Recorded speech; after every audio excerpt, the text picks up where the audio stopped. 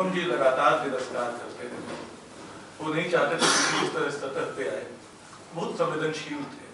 बल्कि जाने बात करते हुए जो व्हाट्सएप और फेसबुक के इस दौर में वो पोस्ट कार्ड और पुराने फ़ोन से चलते थे तो मुझे उनसे बिल्कुल उल्टे व्यक्ति का कथन याद आता था।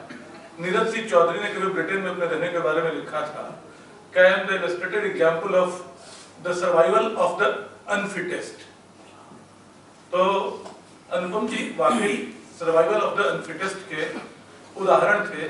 किसी अहंकार के किसी गर्विले अहंकार के साथ नहीं, बल्कि अपनी जरूरतों को बिल्कुल न्यूनतम रखते हुए। उनके पिता भवानी सदृश ने कभी कविता में उछाला था सवाल, कोई है कोई है कोई है? जो कह सके कि उसकी ज़िंदगी दूध की धोई है। मुझे लगता है बहुत कम लोग, पता नहीं चादर कोई जस की तस रख पाता है या नहीं, लेकिन अनुपम जी रख पाए, ऐसा मुझे लगता है। हम उस पीढ़ी के लोग रहे जिनके ऊपर ऐसे व्यक्तित्वों की छाया, एक भौतिक छाया रही। जिस वृक्ष की बात करती थी अभी, वो वृक्ष हमारे ऊपर था जो धीरे धीरे लगातार अब कम होता जा रहा है वो पर्यावरण मुझे याद है कि तहलका में जब पत्रिका शुरू हुई थी तो वहाँ पे एक कॉलम शुरू हुआ था। और मैं अपने को सौभाग्यशाली मानता हूँ कि उनके साथ मेरा भी एक कॉलम शुरू हुआ था। उसके बाद शुक्रवार में सत्याग्रह में तमाम जगहों पे ऐसे मौके आए, जब उनकी छाया में हम सब छपते रहे। और हमारे साथ, हमारे साथी पत्रकार स्वतंत्र मिश्र इत्तेफाक से इन तमाम जगहों पे रहे। यानी उन्होंने तहलका में काम किया, शुक्रवार के लिए काम किया, और उनके पास बहुत सारी स्मृतियाँ हैं। स्वतंत्र, आइए।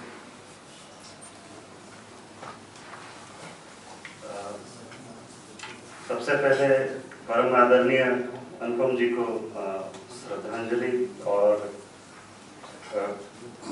उनके लिए कुछ कह पाना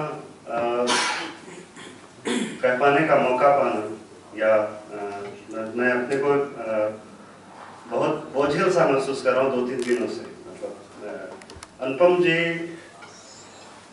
ने अनुपम जी ने मुझे बहुत कुछ सिखाया मतलब हँसते, खेलते, बातचीत करते हुए। अब मैं एक छोटे छोटे एग्जाम्पल्स हैं बहुत छोटी छोटी बात में बहुत बड़ा कर देते मेरा बेटा एक एक बार उनके रूम में, गांधी पीस फाउंडेशन में जो पर्यावरण कक्ष है, वहाँ पहुँचा। तो उनको वो नाव बना के कागज़ की दे रहे हैं। फिर उनको कुछ लिख कर दिखा रहे हैं कि मतलब आप बच्चे का कैसे विकास कर सकते हैं पेरेंटिंग कैसे कर सकते हैं? ये अनुपम जी की मतलब जिसको बोलते हैं कलम पकड़कर सिखाना, मैंने उनसे सीखा है। और यहाँ बहुत लोग ऐसे हैं जो मेरे बहुत आदरणीय हैं और बहुत सम्मानीय हैं, जिन्होंने मुझे बहुत कुछ सिखाया है बहुत मौका दिया है। मैं जब तहलका में था तो एक कॉलम उनका था राम बुहारी, जो शुरू में उन्होंने दो तीन बार लिखा और फिर छोड़ दिया। वो इससे बचते थे। और जब मैंने तहलका ज्वाइन किया था तो मुझे संजय दुबे वहाँ संपादक थे और उन्होंने ये ज़िम्मेदारी दी। तो मैं उनसे लगातार लिखवाता रहा। शायद छः महीने में एक या दो बार उनका वो कलम नहीं छपा। उन्होंने कहा कि तुम ये आ, मुझे जो है चाबुक से पीट पीट कर लिखवाते हो ठीक। लोग जो है थक जाएँगे मेरा पढ़ा पढ़ा कहते दरअसल वो पिता को जीते थे, पिता की कविता को जीते थे, पिता की जो प्रकृति के प्रति जो भवानी बाबू की जो का जो प्रेम था, उसको उन्होंने जिया। और आप देखिए कि जो उनकी किताब है, आज भी खड़े हैं तालाब उसकी पहली ही लाइन है अच्छा अच्छा करते जाना। कड़कू किसान से राजा ने कहा हम्म। तो ये लाइन देखिए उसकी, मैं आज थोड़ा पल, पलट रहा था भवानी बाबू की कविता देख रहा था। तो उनकी कविता है नई इबारत। तो मैं उसको पढ़ना चाहता हूँ। एक कविता और पढ़ूँगा। कुछ लिख के सो कुछ पढ़ के सो तू जिस जगह जागा जगह जागा सवेरे उस जगह से बढ़ के सो। जैसा उठा वैसा गिरा जाकर बिछौने पर। तिफल जैसा प्यार या जीवन खिलौने पर बिना समझे, बिना बूझे खेलते जाना, एक जिद को जकड़ लेकर ठेलते जाना। ये जिद अनुपम जी में थी और वो ताउम्र रही और गलत है बेसूद है, कुछ रच के सो, कुछ गढ़ के सो तो जिस जगह जागा, सवेरे उस जगह से बढ़ के सो। दिन भर इबादत पेड़ पत्ती और पानी की बंद, घर के खुले फैले खेत धानी की, हवा की, बरसात की, हर खुश्क की तर की। गुजरती दिन भर रही जो आपकी पर की। उस इबारत के सुनहरे वर्क से मन मड़ के सो।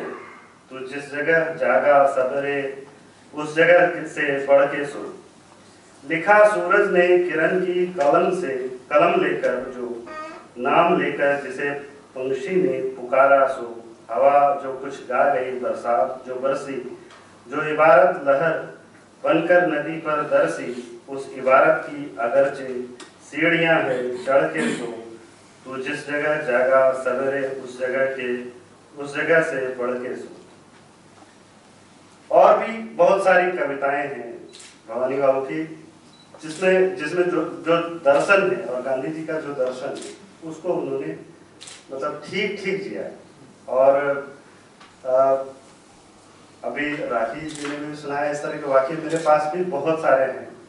पहला लेख जो उनका मेरे साथ मतलब मैंने उनके साथ बातचीत करके किया था वो सहारा समय में एक लेख छपा था चुनाव में पर्यावरण क्यों नहीं बनता मुद्दा ये एक लेख था। वहाँ से मैंने मतलब उन्होंने मुझे जो है ठोक कर बजाकर, थोड़ा बहुत सिखाकर, पर्यावरण के प्रति जो प्रेम था उसको बढ़ाया। और अनुपम जी मतलब छोटी छोटी बातों पर एक बार वो मेरे घर आए और रास्ते में उन्हें एक अचार की दुकान थी उन्होंने कहा अच्छा यहाँ अचार मिलती है? मैंने कहा हाँ अच्छी अचार मिलती है। उन्होंने वहाँ अचार दिया मंजू जी भी हैं, उनको भी शायद याद हो और तो इस तरह की अब मैं एक बार उनके घर गया। सर्दियाँ थी और सुबह सुबह मैं उनका, उनसे बातचीत करने के लिए पहुँचा था शुक्रवार के लिए। तो वो झाड़ू लगा रहे थे। घर के बाहर झाड़ू लगा रहे थे। तो मतलब बड़ा होने का जो उनके अंदर कहीं से कोई दम्भ नहीं, कुछ नहीं, घर के काम नहीं उठाना। फिर एक दिन गर्मियों में ऐसे ही मैं दोपहर में पहुँचा। उन्होंने अपने हाथ से खुद से पन्ना बनाकर पिलाया मुझे। पन्ना बना के कि भाई गर्मी में आया है। अच्छा किसी विषय पर बात करनी हो तो वो गांधी पर कुछ बात करनी हो। एक बार माउंट ब्लैंक पेन से कुछ उसके निब पर गांधी की तस्वीर थी, गांधी जी की। तो उस पर बात करने की बात की तो ऐसी कुछ बात आती तो प्रशांत जी का नाम लेते राही जी का सॉरी राही जी का नाम लेते थे। लेकिन उनसे मेरी बात नहीं हो पाई, वो बाहर थे उस समय। तो मतलब ये नहीं कि मैं ही सब कुछ करूँ। वो सामूहिकता में जीते थे और उनके किताब में भी आप देखेंगे चाहे वो हमारे पर्यावरण सामूहिक, वहाँ सामूहिकता दिखती है या आप आज भी खड़े हैं तालाब देखिए उन्होंने एक एक आदमी को क्रेडिट दिया है इस किताब में। इतना बड़ा हृदय हिंदी में, हिंदी लेखों में बहुत रेयर देखा है बहुत रेयर। नहीं नहीं मतलब नहीं दिखता। और उनकी फिर राजस्थान के रजत बूंदे हैं या कोई भी किताब आप देखेंगे तो उसमें बहुत छोटा छोटा आदमी जो समाज में छोटे माने जाते हैं उसको उन्होंने बहुत बड़े फलक पे देखा उन, उन, उसकी जो प्रकृति के साथ जो उसका तादात्म्य है उसका जो मेल है उसको उन्होंने देखा सीखा और उनको बताया। अनुपम जी पत्रकारिता पर भी बात करते थे कभी कभी तो वो बोलते थे ये अखबार में दरअसल असल किंतु परंतु इतना क्यों लिखते हैं? सीधा सीधा लिखिए। तो वो कान भी पकड़ते थे कि आप उनके पास जाते हैं आप उनके बहुत प्रिय हैं। तो इसका मतलब ये नहीं कि आपको वो ऐसे ही छोड़ दें। वो आ, अच्छा उनकी जो भाषा थी उसमें बहुत विट था बहुत व्यंग और तंज वाली भाषा भी थी। जैसे वो पॉलिटिशियंस पे बात करते थे, राजनेताओं पे बात करते थे, वो नाम नहीं लेते थे कई बार। वो कहते थे अलग अलग झंडों की सरकार। या फिर नदी जोड़ों पे बात आती थी सुरेश प्रभु का नाम लेते हुए वो कहते थे, प्रभु की मतलब लीला। और इस तरह से कुछ तन्य कसते थे। वो सीधा सीधा नहीं कहते भूमंडली कर्म पर बात करनी होती थी, वो कहते थे, तेज हवा मतलब विकास की तेज हवा। इस तरह से वो बिंबोवे पे बहुत बात करते थे। और शायद इसी वजह से हम उनको याद कर रहे हैं और और उनको उनका ये सम्मान जो समाज में है, वो इसी वजह से है कि वो अपने को नकारते थे। वो कहते थे, सफलता की दो सीढ़ी चढ़ चढ़, चढ़ते हो तो चार उतरना सीखो। धन्यवाद। तो स्वतंत्र को सुनते हुए बार बार मुझे ख्याल आता था कि चुपचाप हम लोगों को बना रहे हमें से बहुत सारे लोगों को पता भी नहीं चलता था और वो शायद हमें कुछ न कुछ देते, हमें कुछ कुछ जोड़ते जाते थे। ये काम उन्होंने जिस आदमी के साथ सबसे ज़्यादा किया, मेरा ख्याल है उसका नाम सोपान जोशी सोपान जो थे जब मुझे पहली बार मिले, जब भी मिलते रहे टुकड़ा टुकड़ा मुलाकातों में, मुझे लगता है कि उसमें बहुत सारी ऊर्जा है, बहुत सारे विचार हैं, लेकिन सब छितराए सब मतलब तितर बितर से कोई है जो क्या इस बिजली को बांधेगा, क्या इस पानी को बाँध कर बिजली निकाल पाएगा? अनुपम जी ने काम कर दिखाया। मैं सोपान से जानना चाहूँगा। और सोपान उनके बहुत करीबी रहे, शायद मैं जो बोल रहा हूँ ये सब भी उस रिश्ते के मुकाबले बहुत अधूरा है, जो सोपान ने बहुत बचपन के से उनके साथ जिया हुआ उस परिवार के साथ जिया है। तो सोपान को आमंत्रण।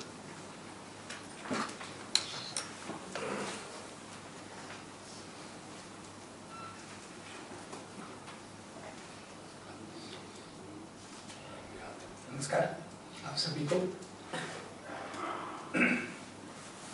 ज्ञानपीठ से ही कुछ कुछ दिनों पहले अनुपम जी के भाषणों और लेखों का एक संकलन निकला है, जिसका शीर्षक है, अच्छे विचारों का अकाल।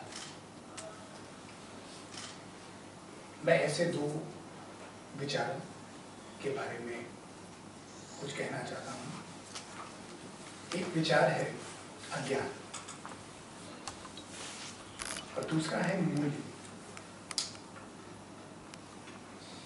बहुत पहले से अनुपम जी से ये सुनता आया हूँ कि ज्ञान से काम चलता नहीं है, उससे बिगड़ता भी है। और ज्ञान से काम न बिगड़े, इसका तरीका अज्ञान है। बहुत से लोग, बहुत कुछ सीखने और बहुत कुछ पाने की हड़बड़ी में रहते हैं। ज्ञान अर्जित करना तो लगभग हमारे युग का मंत्र बन गया है। लेकिन उसी के साथ इस ज्ञान की अपच हमको चारों तरफ़ दिखती है। इतने ज्ञान को बचाने की कुत बहुत ज़्यादा लोगों की होती नहीं है। जिनकी होती है उसके परिणाम क्या निकले कहना कठिन। मुझे लगातार अनुपम जी ने अज्ञान पर जानकारी जुटाने के लिए अ, हमेशा कहते रहते थे कि जरा ये ढूंढो कि अ, इन्होंने एक वैज्ञानिक है उन्होंने इग्नोरेंस पर बात करी है बात की है। जरा इकट्ठा करो जरा देखो उसका अनुवाद हो सकता है क्या। विनोबा ने अज्ञान पे बहुत कुछ कहा है, उसको निकालो ये अज्ञान क्या है? अब ये अज्ञान आपको आपके सम पर लौटा आता है। आपका राग कहीं भी हो, आप पंचम में गाने वाले हों तो आप पंचम में गाएँ, लेकिन लौट के अपने सम पर आए। और अज्ञान वो अवस्था है जो हम सभी को जोड़ती है। हम सब कहीं ना कहीं, किसी न किसी मंच पर, किसी न किसी मंडली में अज्ञानी है। बल्कि बहुत सी मंडलियों में हम अज्ञानी हैं। लेकिन हम अपने ज्ञान में इतने उलझ जाते हैं कि हम अपना सम भूल जाते हैं। और जिस घराने का काम अनुपम जी करते थे गांधी का घराना उसमें सम पर लौटना बहुत ज़रूरी है। और वो सम अज्ञान का है। जब आप मन में ये मान लें कि आप अज्ञानी हैं तो आप हमेशा ज़्यादा लोगों से जुड़ पाएँगे। ज़्यादा लोगों से आप अपने आ, सहज रूप से अपनी बात कह सकते हैं, उनकी बात समझ सकते हैं। और एक बार ये अज्ञान आप अपना लें तो फिर आपको वह मूल्य दिखता है, जो असल में अमूल्य है।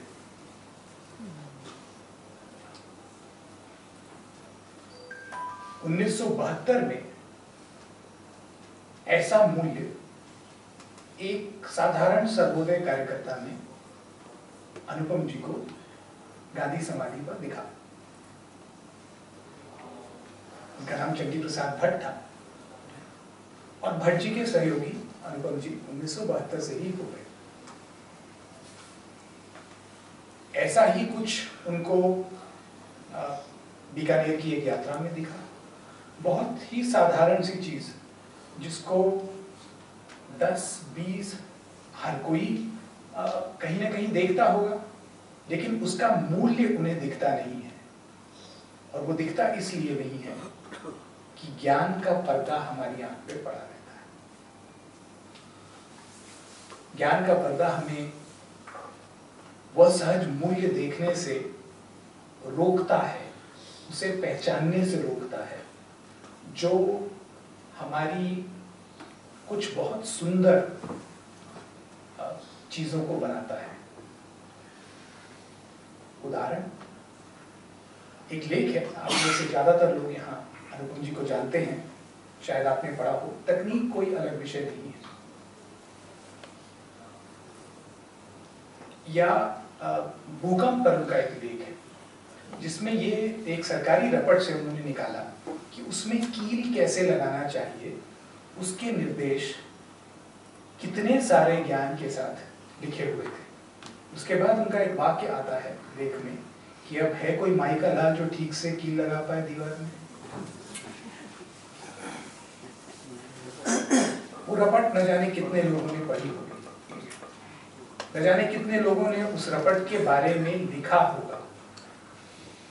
लेकिन कील लगाने की यह दृष्टि किसी अज्ञानी को ही दिख सकती है।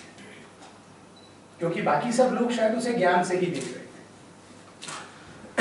अज्ञानी ही कहीं जाली एक छेद पर जाली लगी हो तो जानने की कोशिश करेगा कि ये क्या है। और फिर जब सामने वाला बताए कि ये कुंड है तो उसको झट से अपने मन में उतार लेगा और उसका एक खाका अपने मन में बना लेगा, जिसमें धीरे धीरे धीरे धीरे पक्षियाँ जाती जाएँगी। धीरे धीरे धीरे धीरे चीज़ें बनती रहेंगी। और चूँकि अदृश्य मूल्य उस अज्ञानी को दिखते थे तो धीरे धीरे ऐसे भवन तैयार हो जाते थे, जो किसी ज्ञान वाले की कल्पना से भी परे ऐसा ही एक भवन आज भी खड़े हैं, तालाब है। कब हो गई, कब बन गई, किसी को अंदाज़ा नहीं लगा। ये इतना धीरे धीरे काम करना। आप मौका मिलेगा भी। तो आज भी हैं खरे आज भी खड़े हैं तालाब का। संदर्भ का खंड एक बार ध्यान से देखिएगा। क्योंकि पर्यावरण पर अनेक किताबें निकली हैं। और उनमें अनेक संदर्भ दिए जाते हैं। लेकिन वो संदर्भ आपको और कहीं नहीं मिलेंगे, क्योंकि वो संदर्भ ऐसी एक पूंजी बताते हैं जो शायद न किसी ने इकट्ठी की और ना उसका मूल्य किसी ने समझा। बहुत साधारण लोग, कोई ट्रक ड्राइवर, कोई रिक्शे वाला, कहीं कुछ बात हुई क्योंकि अज्ञानी व्यक्ति अपने सम पर रहता है। तो वो किसी रिक्शे वाले को भी उसी आँख से देख सकता है, जिस आँख से दूसरे लोग किसी विशेषज्ञ को देखते हैं। यही बात, यही अज्ञान और यही मूल्य उनकी भाषा में आपको बार बार दिखेगा। हर जगह आपको इसकी झलक मिलेगी। क्योंकि आखिर ऐसी कितनी हिंदी की किताबें होंगी जिनका दक्षिण भारत में इतना चर्चा हो? या जिनको कोई बंगाल का पाठक पढ़ के जिसका अनुवाद की करे? इसलिए, क्योंकि वो अज्ञान सरलता से मिलता नहीं। अनुपम जी से जब भाषा पर बात होती थी तो कई बातें थी, लेकिन उसमें से एक बात याद करने लायक है यहाँ पर। बार बार कहते थे कि पैर पर चलना आसान काम है। फिर लिखते वक्त लोग हाथ पे चलने की कोशिश क्यों करते हैं? और आप पाएँगे कि बहुत कम उम्र से हम जब लिखना सीखते हैं तब हमें ये बताया जाता है कि तुम अलग तब दिखोगे, जब तुम कुछ कर्तव्य करके दिखाओ पैर पे तो हर कोई चलता है, तुम हाथ पे चल के दिखाओगे। और उसकी गति ये है कि हम ज़्यादातर जो पढ़ते हैं, वो हाथ पर चलने की कोशिश के बाद आए धड़ाम की आवाज़ की गूंज होती बहुत कम चीज़ छान कर धीरे धीरे छान कर तैयार की जाती है। और आज भी है क्योंकि अनुपम जी की लिखाई, अगर हम सबको इतनी प्रिय है और वह इतनी सफल हुई है तो उसमें यह भाव है कि किसी चीज़ को छान कर, उसमें से ज्ञान को निकाल कर, उन मूल्यों को ध्यान में रखकर, जो हम में निहित हैं लेकिन जिनकी बात हम आसानी से करते भी हैं, उन मूल्यों को सामने रख के किया जाए। अब, मैं नहीं मानता कि Anupam ji survival of the unfittest को मानते थे। वो, उनकी लिखाई बहुत फिट लिखाई है। आप अगर उसमें से शब्द काटना चाहें तो बहुत कुछ निकाल नहीं पाएँगे, क्योंकि उसका डीएनए इतना पक्का है कि उसमें कोई ज़्यादा म्यूटेशन की गुंजाइश नहीं आप लोगों ने धीरे से सुना, आपका बहुत आभार। करीने से उस बिंदु पे उंगली रखी है, जो शायद अनुपम जी को समझने की कुंजी साबित हो सकती है। ज्ञान और बौद्धिकता के आतंक के प्रति जो उनका था। और जब फिटेस्ट शब्द की बात कर रहा था तो मैं बता रहा था कि उसकी सीमाएँ कैसे खुल जाती हैं उनके सामने। जो हमारे लिए फिटेस्ट है लगता है कि जो है, जो ईमेल नहीं कर पाता है, वो क्या इस दौर का आदमी है? वो बिल्कुल हमारे दौर के शरण से आगे के आदमी थे। बहरहाल उनकी विरासत बहुत बड़ी थी, जिस बौद्धिकता के अहंकार को ठोकर मारते थे। मुझे लगता है कि वो बिल्कुल विरासत में तो बात करते हैं तो मुझे भवानी जी की एक और कविता याद आ गई। वो संक्षिप्त से वो समय नहीं लूँगा। मैं असभ्य हूँ, क्योंकि खुले नंगे पाँव चलता हूँ। मैं असभ्य हूँ, क्योंकि फूल की गोदी में पलता हूँ। मैं असभ्य हूँ क्योंकि चीर कर धरती धान उगाता हूँ। मैं असभ्य हूँ क्योंकि ढोल पर ज़ोर से गाता हूँ। आप सभ्य हैं क्योंकि हवा में उड़ जाते हैं ऊपर। आप सभ्य हैं क्योंकि आग बरसा देते हैं ऊपर। आप सभ्य हैं क्योंकि धान से भरी है आपकी कोठी आप सभ्य हैं क्योंकि ज़ोर से पढ़ पाते हैं पोथी। आप सभ्य हैं क्योंकि आपके कपड़े स्वयं बने हैं। आप सभ्य हैं क्योंकि जबड़े आपके खून से सने हैं। आप बड़े चिंतित हैं मेरे पिछड़ेपन के मारे।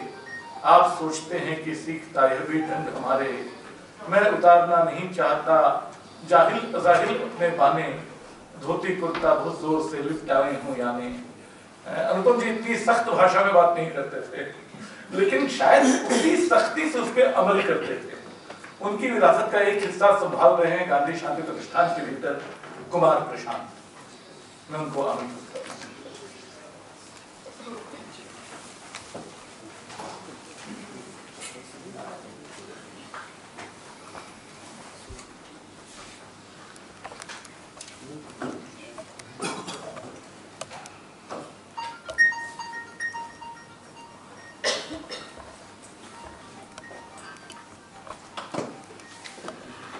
अकाल पर चर्चा करने के लिए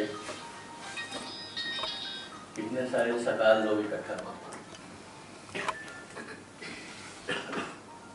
मुझको खुशी भी हो रही है और बहुत तो आशा भी दे रही है।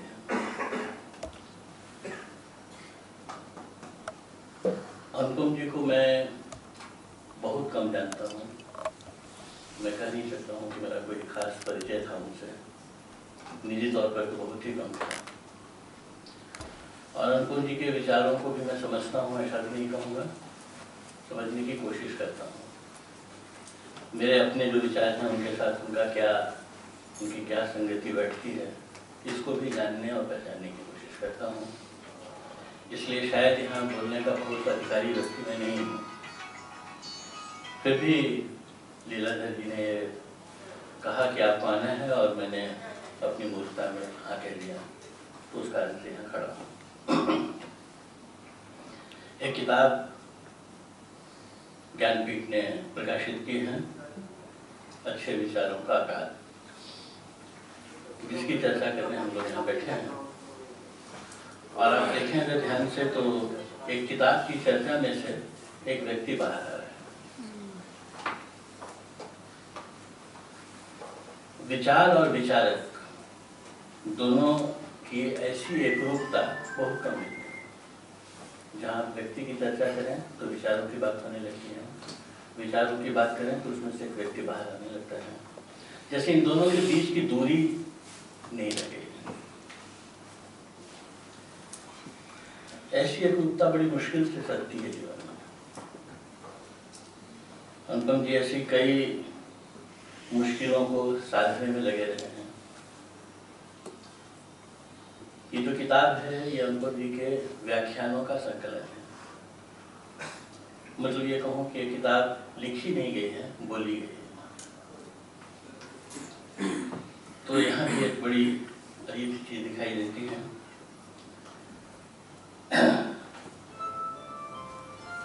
लिखने और बोलने को एक तरह का बनाना जिस तरह मैं बोलता हूँ, उस तरह तू लिख। पिताजी ने लिखा था।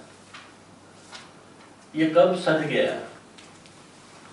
और इतना सद गया कि इन दोनों के बीच की दूरी लगभग दिखाई नहीं देती वो कब बोल रहे हैं और कब लिख रहे हैं? दोनों करीब करीब एक तरह की दिखाई देती है। सोपान जिसको अज्ञान कह रहे थे, शायद उसकी साधना में से ये बात निकल सकती है। और एक ऐसे आदमी को जिसको बोलने और लिखने दोनों पर इसकी कोई खास पकड़ नहीं है, उसको इस पर बोलना बड़ा मुश्किल काम क्योंकि मैं खुद इन दोनों चीज़ों को कभी साथ नहीं पाया हूँ उस से तो इसलिए मैं ज्ञानपीठ का, राखी जी का और लीलाधर जी का सबका साधुवाद करता हूँ कि उन्होंने इस समय पर एक ऐसी चीज़ हमारे सामने रखी है और वो चीज़ बहुत महत्वपूर्ण हो जाती है क्योंकि उसको लिखने वाला व्यक्ति आज हमारे बीच नहीं है। तो शायद इसी रूप में वो हमारे बीच है, ऐसा मानकर इस किताब को देख सकते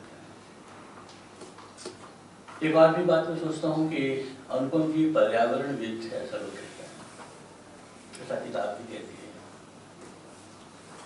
फिर मैं सोचता हूँ कि पर्यावरणविद तो बहुत सारे लोग हैं देश में उनमें अनुपम जी अलग क्यों दिखते हैं? क्योंकि पर्यावरण कोई एक अलग सी चीज़ है, कोई एक समस्या है बाहर की, जिसको हल करना है।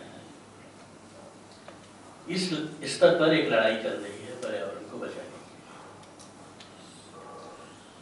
और एक लड़ाई वो भी चल रही है, जो पर्यावरण हम जीते हैं, उस पर्यावरण को संरक्षित और संवर्धित करने की भी एक लड़ाई है। ये लड़ाई का एक दूसरा स्तर है। और ये दोनों स्तरों का जो फ़र्क है, वही अनुपम जी के पर्यावरण में और बाकी लोगों के पर्यावरण की लड़ाई का फ़र्क है। इसलिए अनुपम जी इतने अलग दिखते हैं इसमें ऐसी लड़ाई में आप खुद सिपाही भी हैं और खुद निशाने पर भी हैं। एक अजीब तरह की लड़ाई है। मुझको याद है कभी अनुपम जी के ही आग्रह पर मैं एक विश्व सम्मेलन में फ्रांस गया हुआ था और वो भी पर्यावरण पर ही सम्मेलन था। बहुत सारे दुनिया भर के लोग आए हुए थे और जिस होटल में हम लोग ठहरे हुए थे, उस होटल के बहुत सारे कमरों में लोग ठहरे हुए थे। तो जब सम्मेलन खत्म हुआ और लोगों के जाने का वक्त हुआ तो उस होटल वाले को सबसे बड़ी चिंता ये थी कि पर्यावरण बचाने के लिए जितने लोग यहाँ आए हुए हैं, पर्यावरण बचाने का जितना साहित्य तैयार करके लाए हैं, वो सब अपने कमरों में छोड़कर न चले गए और जब उन सबको निकाल कर उन्होंने होटल की लॉबी में रखा तो मैं खुद भी आश्चर्यचकित हो गया कि पर्यावरण की, को बचाने की, लड़ाई लड़ने के योद्धा लोगों ने कितने पेड़ों को काट कर के ये चीज़ें छापी। और इतनी छाप कर लाए थे बाकी छोड़कर चले जाने को तैयार थे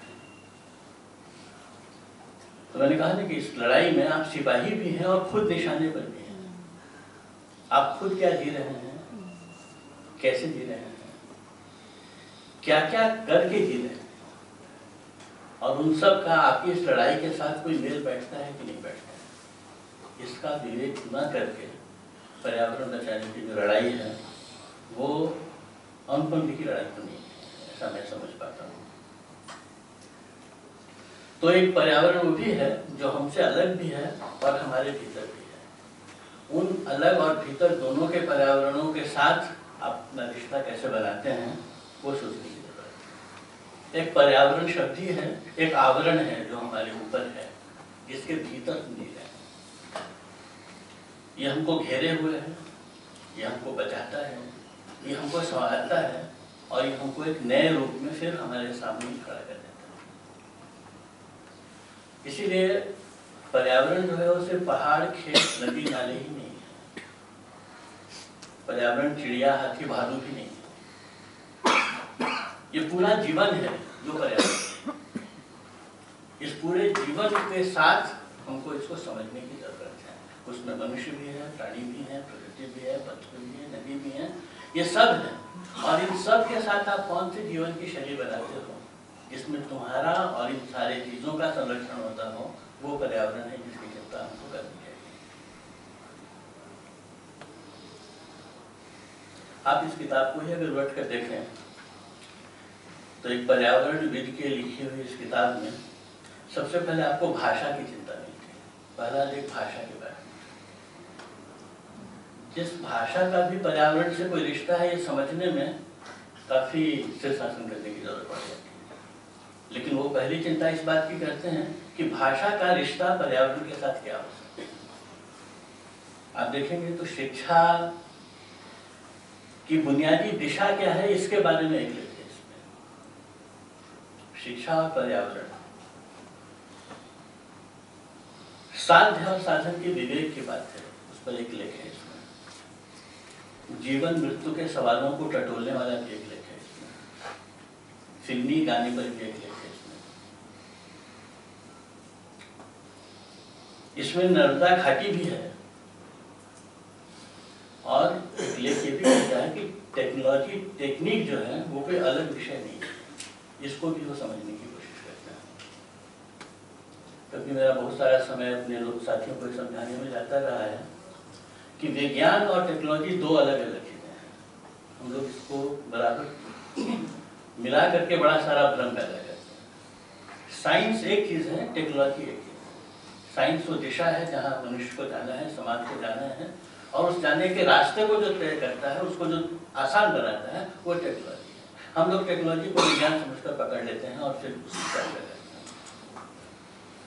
तो इसकी भी बात इस किताब के एक लेख में की गई है। और इन सब के साथ वो कहते हैं कि ये पूरा पर्यावरण है। तो सामान्य तौर पर पर्यावरण के अंदर जिन विषयों का शुमार नहीं किया जाता है, जिन चिंताओं को उसमें शामिल नहीं किया जाता है, वो सारी चिंताएँ पर्यावरण में शामिल होती हैं, तभी आप उसको समझ भी पाते हैं और तभी उसमें आप अपनी भूमिका भी सोच पाते हैं। इसलिए मैं मानता हूँ कि जो व्यक्ति अपनी सांस्कृतिक, अपना सांस्कृतिक संदर्भ खो चुका है वो न तो पर्यावरण को बचा सकता है और न पर्यावरण को समझ सकता है। इसलिए जो सबसे ज़रूरी चीज़ है वो ये है कि आखिर हम सब लोगों के होने का सांस्कृतिक मतलब क्या है?